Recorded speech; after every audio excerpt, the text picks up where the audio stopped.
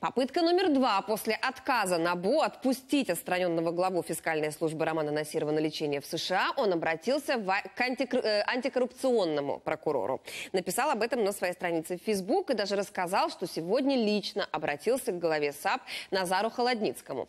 Но тот рекомендовал фискалу идти в приемную. А чуть позже уже журналистам прокурор рассказал о том, что встреча предварительно назначена на вторник.